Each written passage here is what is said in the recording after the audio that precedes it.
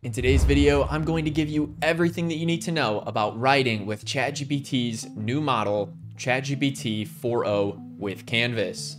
This new feature blew me away, and by the end of this video, you will be a pro at writing using ChatGPT 4o with Canvas. If you're looking for an AI community to call home where you have weekly calls, content, in regular news updates, then I highly recommend joining my community, AI Foundations. I started this community with my brother, who is known as AI Foundations on YouTube, and we've been networking, learning, and leveling up alongside the members. I'll leave a link below this video if you are interested in joining this community. As we scale the community up, the price will go up, so I recommend jumping on as soon as possible.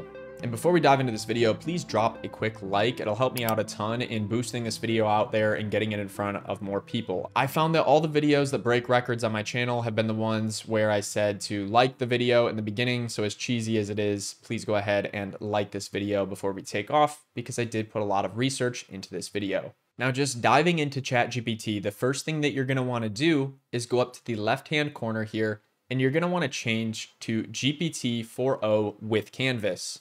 When it comes to writing, I can just drop a simple prompt in here, like write a blog post on healthy habits for busy professionals, and I can send this off. So on the right here, you see that it's generated my article on healthy habits. This right piece is considered the canvas, and the left side is still considered the chat.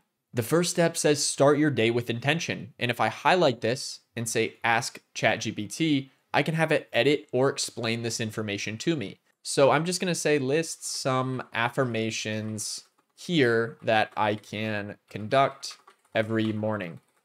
And I'll send that off. And it's just going to go in and edit that piece of the document. So I could iterate as much as I want on this particular piece. I could say turn this part into partial bullet points for the affirmation reps.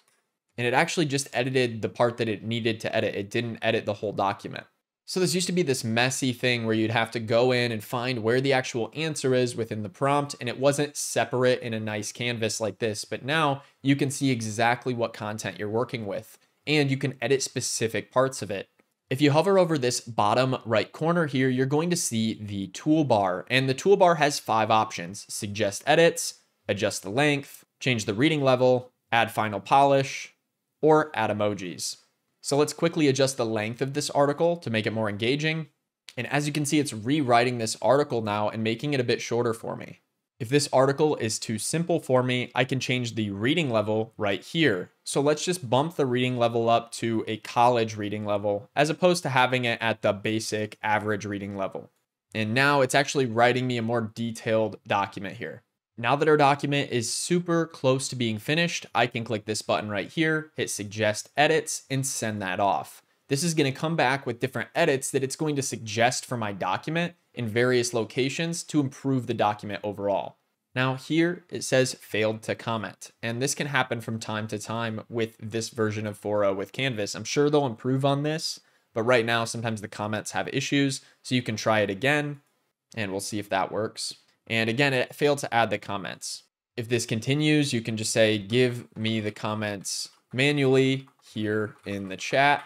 And hopefully OpenAI will improve on this so that we don't get these errors. It did still give me the comments right here, but it just had a hard time commenting them into the actual text. I'll just say, go ahead and implement these improvements and it will actually go through and make those five edits for me, even though the commenting failed. Let's put some finishing touches on this article by hovering over the toolbar and then hitting add final polish. What add final polish will do is it's going to go through and it's going to get this document ready to publish. Now it's finishing up this final article so I can go through, finish up, add my own personal touches, and then I can use this as a piece of content or even just a content idea. If you enjoyed today's video, I think you'll love our community. So just a quick reminder to join AI Foundations using the link below if you want to take it to the next level with me, my brother Drake, and the amazing network that we've built over there at AI Foundations. I hope to see you there.